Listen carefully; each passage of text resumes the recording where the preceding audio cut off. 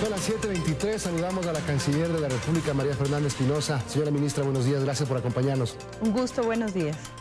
Se hizo público el informe de la Organización de los Estados Americanos eh, presentado por la misión que vino a acompañar las elecciones eh, que fueron tan polémicas, sobre todo el 2 de abril en el Ecuador, y el resultado fue diferente a lo que muchos esperaban. Bueno, yo diría, hay que recordar que el 19 de julio también la UNASUR, la misión de observación, hizo público los resultados de su observación, que coinciden además con la misión de observadores de la OEA.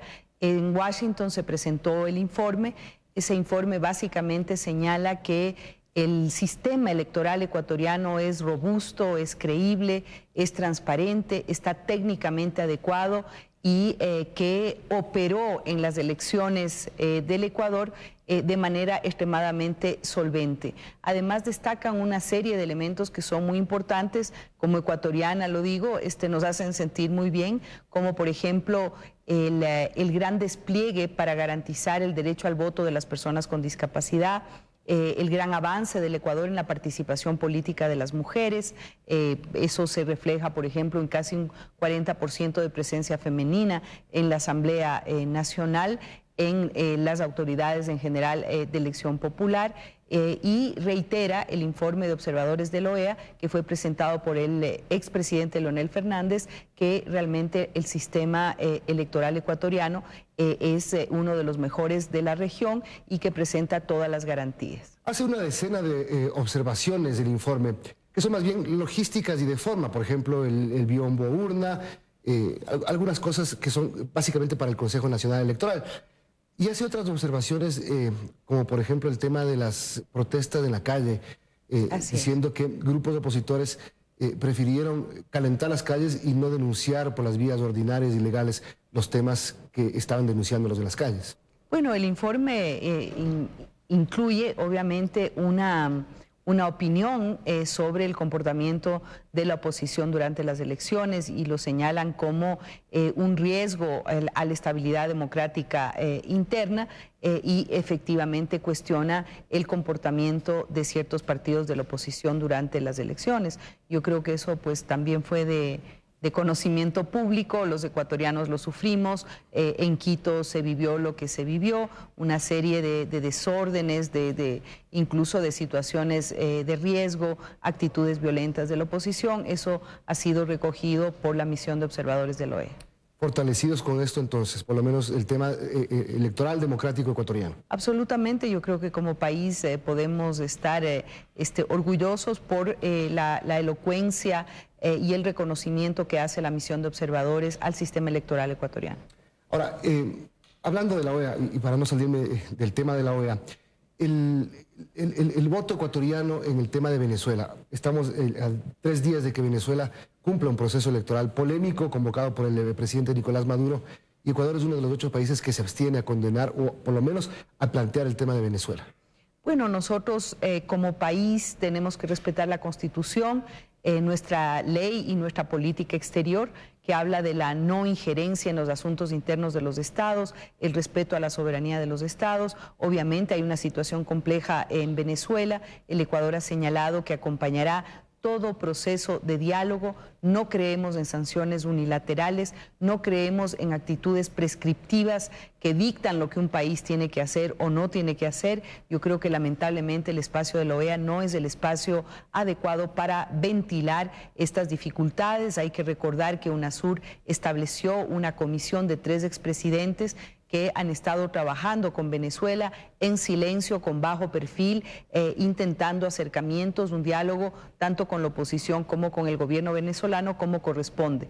Nosotros como países hermanos y vecinos de Venezuela tenemos que apoyar, tenemos que eh, facilitar los puentes de diálogo entre ambas partes y eh, además prestar el apoyo cuando somos requeridos. No, no creemos, vuelvo a decir, en ninguna forma de injerencia en ninguna sanción unilateral, en nada que afecte eh, en definitiva al pueblo venezolano. ¿Estará presente, ha recibido alguna invitación del gobierno de Venezuela, el Estado ecuatoriano el domingo en las elecciones? Bueno, entiendo que hay varios observadores que eh, observarán eh, la elección para el proceso constituyente que ha convocado el gobierno de Venezuela y están, entiendo yo, ya en, en Caracas una misión de observadores de Ecuador. Hay plazo, eh, y esto es otro tema, eh, para el carnet del migrante retornado. Es un, eh, se está implementando esto y hay un plazo hasta, si no equivoco, dos semanas más. ¿En qué consiste este carnet? Es un certificado, es un certificado que establece la nueva ley de movilidad humana. Este certificado se puede sacar en nuestras oficinas eh, zonales en todo el país. Es un, es un trámite gratuito eh, de entre 5 y 8 minutos. Aquellos, aquellos migrantes retornados que llegaron al país antes de la ley de movilidad humana en febrero tienen hasta el 6 de agosto para hacer este trámite y aquellos que retornaron después de febrero tienen dos años para hacer ese trámite. ¿Es obligatorio? Eh, no, en absoluto. Es un certificado simplemente que apoya ¿no? y estimula al migrante retornado para eh, hacer su vida aquí en el país. ¿Para qué le sirve?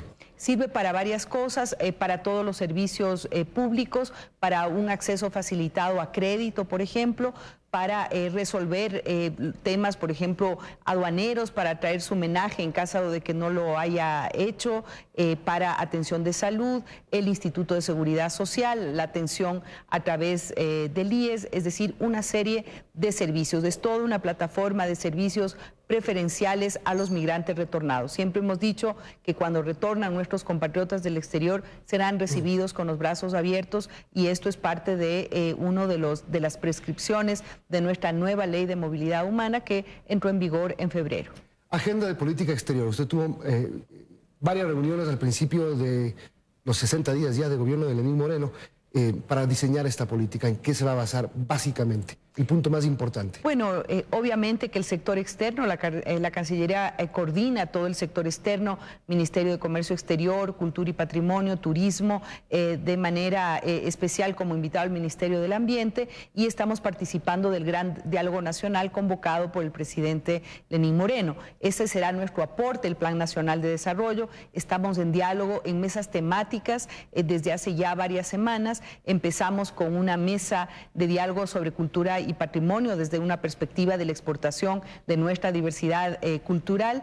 Eh, eh, luego continuamos con una mesa de movilidad humana, con una mesa sobre construcción de paz. esta misma semana tuvimos una mesa sobre integración regional. Continuamos el primero de agosto en Guayaquil con una mesa sobre comercio exterior y básicamente esos aportes ciudadanos. Hay que señalar que en cada mesa hemos tenido casa llena y eso realmente nos, nos eh, llena de satisfacción porque ese es el objetivo, construir una agenda de política exterior que represente y refleje los deseos ciudadanos, los aportes de la academia, de, la, de las organizaciones sociales, que es lo que estamos haciendo. ¿Cuáles son los ejes? Son los ejes que manda eh, la Constitución. Nosotros tenemos además que recoger esa, ese mandato de los presidentes de la CELAC de construir América Latina y el Caribe como una zona de paz, de fomentar y estimular los procesos de integración eh, regional, de respetar la soberanía eh, de los estados y de poner por sobre cualquier otro interés nuestro interés nacional, fomentar nuestras exportaciones,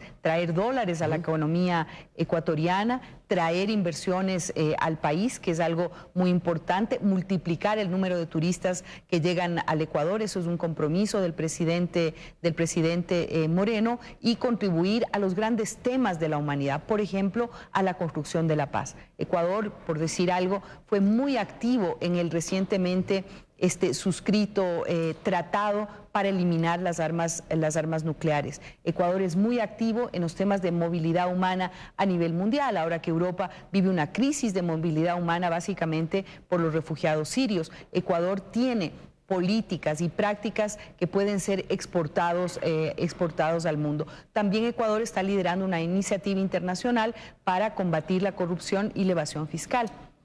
En eso estamos trabajando activamente. Último tema, beneplácitos. ¿Estados Unidos respondió ya al beneplácito pedido para Alexis Mera como embajador? No aún, pero estamos en el tiempo normal. Normalmente el Departamento de Estado toma entre seis y nueve semanas para otorgar un beneplácito. Estamos eh, incluso dentro de la, de la franja eh, de, menor tiempo, así es que estamos eh, esperando el, pronunciamiento de los Estados Unidos. Así es, se pidió el 30 de junio, si no estoy equivocado, estamos casi un mes. Pero sí es preocupante, a Francisco Borja se demoraron ocho días en darle el beneplácito. Son procesos, recordemos que es un gobierno distinto, sí, también. que hay todo un proceso de reingeniería del Departamento de Estado, están cambiando todas las autoridades y, yo creo que estamos perfectamente en tiempo y esperaremos, por supuesto. ¿Tienen por si acaso otra persona si es que Estados Unidos no responde? Porque suelen no decir no, sino no responder.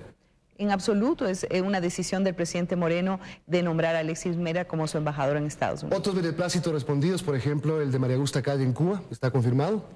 Eh, Guillaume Long en, Ginebra. Para Ginebra no se requiere beneplácito, simplemente es una decisión. Él está designado, está ya en pocos días viajando para Ginebra, será nuestro embajador ante las Naciones Unidas en Ginebra. En lo que respecta, por ejemplo, al nombramiento de Cristóbal Roldán a España, eh, ya el día de ayer eh, llegó su beneplácito, así es que él está estará en pocos días ocupando su función como embajador en España. ¿Qué porcentaje del cuerpo diplomático se ha cambiado hasta este momento? Realmente muy poco, muy, poco. Eh, estamos haciendo rotaciones que son las rotaciones normales, eh, de acuerdo a los tiempos que han permanecido en el exterior eh, los funcionarios del servicio, del servicio y estamos haciendo pues cambios pausados con transición, un tema ordenado y realmente yo creo que en, poco tendremos ya un, un cuerpo consolidado de acuerdo a los cambios que corresponden en un cambio de gobierno, pero también en los ciclos normales de rotación del servicio exterior.